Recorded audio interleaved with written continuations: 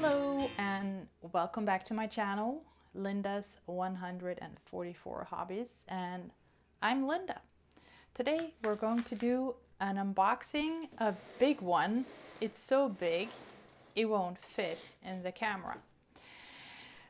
I've ordered a bit of some, I've ordered some uh, art materials, uh, ink pens, paper, uh, watercolor brushes, because I thought I was going to get ready for Inktober of 2019.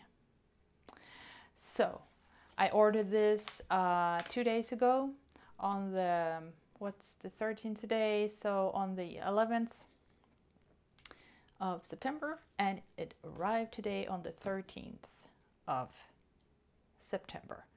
It's from a store called PenStore, but it's a Swedish website and you can find all kinds of uh, artistic materials over there. It's a great place, great service. So let's stop talking and get into this thing. And I forgot my knife, so I'll be right back. Yes, it's never good to come unprepared. Got my knife, let's start.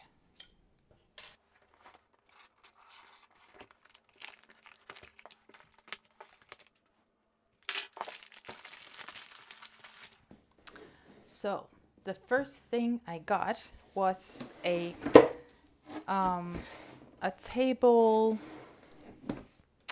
a table what do you call that uh, well it's one of those you you have on the table when you're painting or drawing instead of on the floor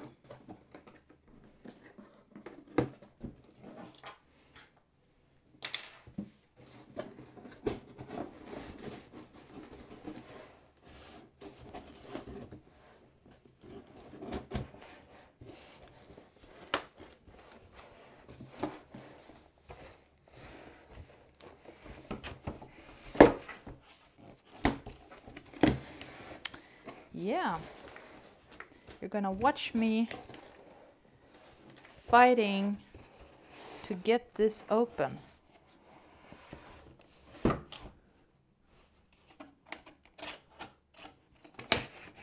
Almost cut myself there. Yeah. There we go.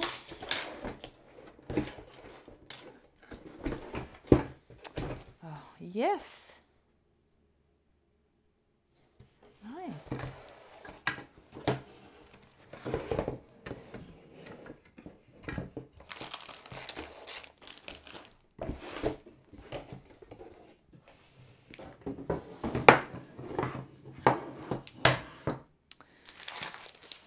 So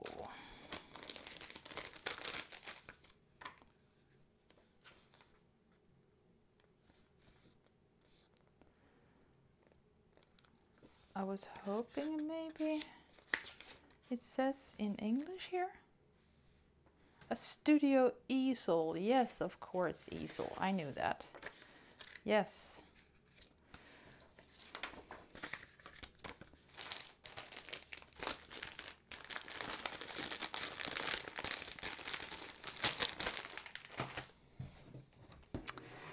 And it goes something like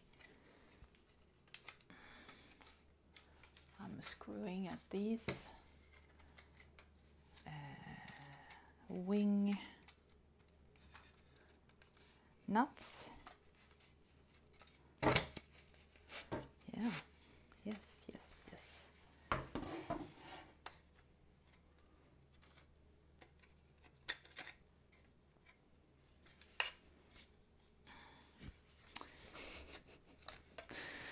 Oh, come on.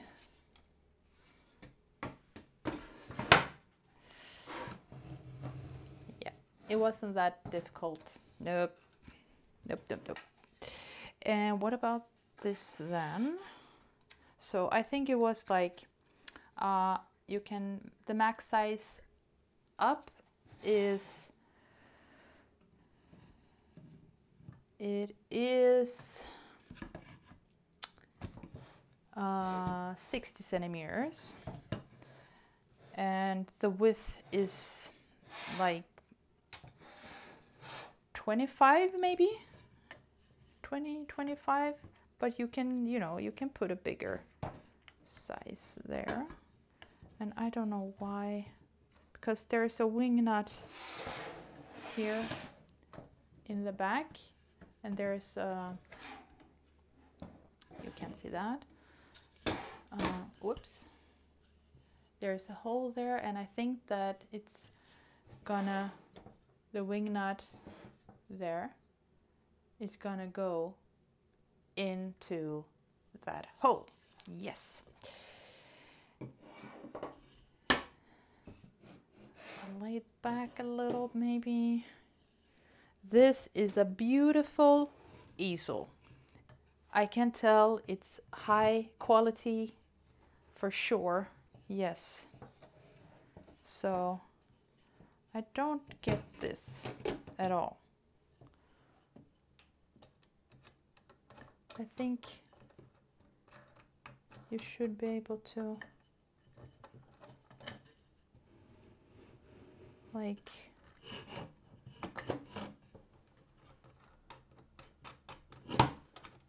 maybe like this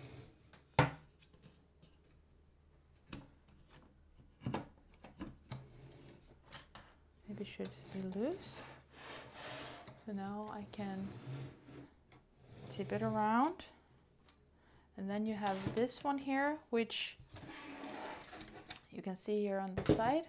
So you put your uh, either your your oil canvas on this one or your watercolor uh, paper which is uh, you've put on a piece of uh, board or you can buy these um,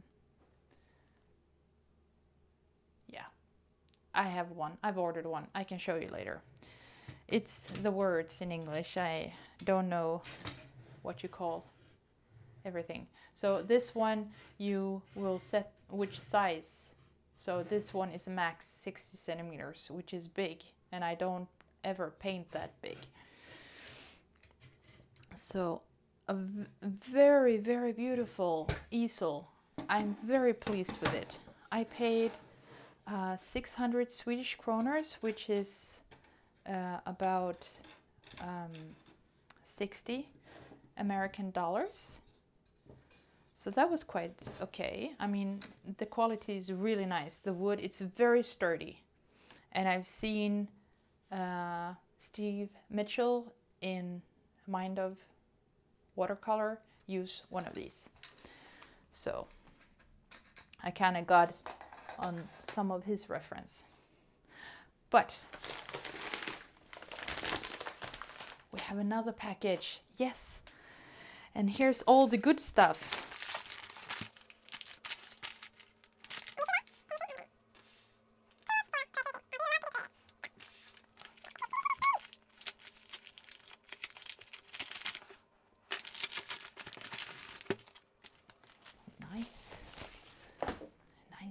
nice. Let me zoom in a little bit. Yeah. Okay. So this is the the watercolor paper I was talking about and you can see it's like um, what do you call that? A block a watercolor pad a watercolor pad. Yes, oh, I'm sorry for, for the glare. Um, and there's 12, 12 sheets of, you can see me there, hello, 12 sheets of um, paper in it. And I think it's glued around the edges, so you don't need, you know, to, um, you know, string it up on a board or something. So I'm gonna try this and it's Arches. I think uh, I'm, I think it's a very nice quality paper and it's hot pressed so it's a very it should be kind of smooth because I want to sketch. I want to learn how to sketch on it as at the same time as using the watercolor. And then I got three sketching books for Ink Inktober. I could get some more expensive, nicer sketchbook, but uh, Jake Parker, who, who is the founder founder of Inko, Inktober, recommended to start out with these kinds of books because then you're not so scared of, you know, if the drawing doesn't turn out well, and then you haven't paid a lot of money on expensive sketchbooks. So that's why I decided not to go nice and expensive. So you have three of these. They're exactly the same. And the good thing about this is I think you can actually use it for maybe for uh, mixed media. Very nice. You can, it's, it lays very flat. The, the paper is very smooth. It's kind of thin, but um, it's for practice. I'm not gonna do any masterpieces or anything. So and it's a I would say almost an A4 size and this was like the extra large uh, books I got very nice. Yeah and then we need something to use to actually paint with and draw with. So I ordered pens.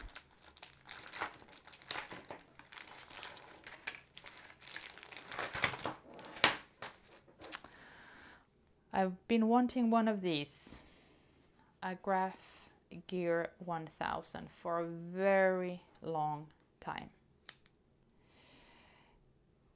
It's a very nice pen. You could just buy any other, um, you know, it's a pencil with a 0.5 um, tip. And this is a bit on the expensive side, but I've always wanted this and I said now now it's the time. So I got this, so it's a 0.5 and I got some of the uh, extra uh, yeah again words I don't know what it's called in English I got some ex extras of these and I wanted B I wanted I like it when it's a bit softer yeah, I can't open that. I think there's 40 of them. 40. This is called stains. Unprepared. I'm sorry. Yes. And then I wanted to try out to start when I'm sketching to start out with blue and I got orange I didn't get red uh, and these are 0.7 they didn't have 0.5 so I will just use any other pencil for these and I've learned that this is a good way to start when sketching. So I want to try that out. And you can never have enough of these erasers. And I got these babies. It's the fine liner Staedtlers. And it was a set of, there's, um, can you see that? Let's see if it focus. Yeah, there's a double zero five, a zero one, zero two, zero three, zero five, and zero eight. So you have all sizes and these are not like uh, I'm sorry the ones that I think are the most beautiful but they have great quality So this is the double zero five. And let's see if I can show you that the tip there is very, very, very, very tiny. Great for small detail. And I will show you the 0 0.8 and you can see that the tip there is quite bigger.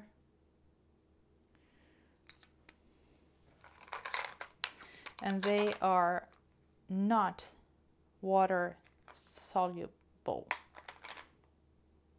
So you can use water on top of them and it won't smear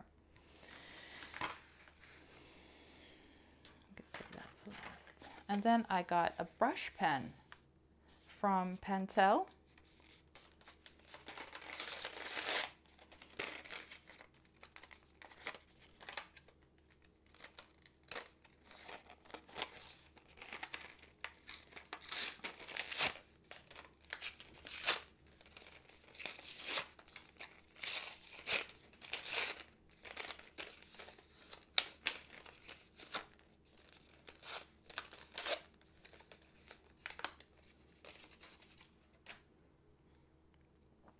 So it's the pen and with two uh, refills. And the cool thing about this is that it has a brush tip. And I have no uh, experience with this, but I guess that you put this one in here and you screw it back on and you can start painting. I will not do that now though. But these, uh, I think you use quite a technique to, to, when you're using these, you can get a very fine line and you can get a very thick line.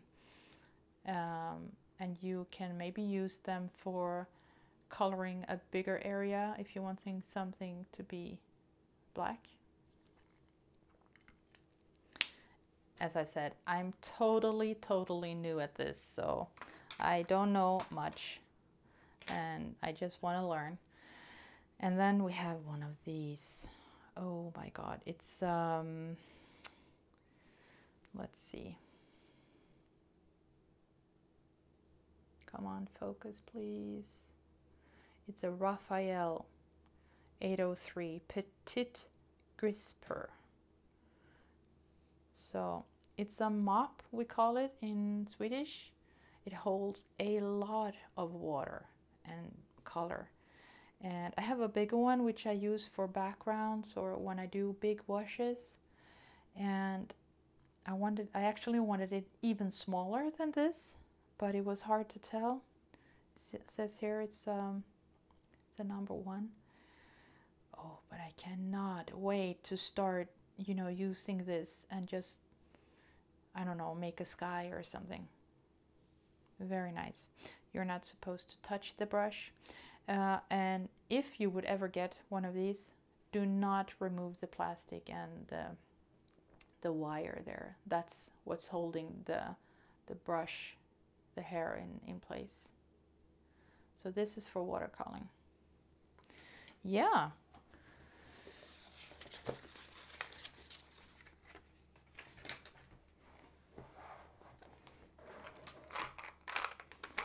That was, uh, it was a big order. Um, cost-wise, um, I paid about 1,700 Swedish kroners, which is about $170 for this and the weasel. No, not weasel. I'm, oh god, the easel. Uh, and the easel was what's was most um, yeah most uh, expensive. So together, weasel and this uh, was uh, $170. Yeah. So uh, that's all for today. Uh, if you have any questions, leave a comment below and don't forget to hit that subscribe button and I will see you next time. Thank you for watching.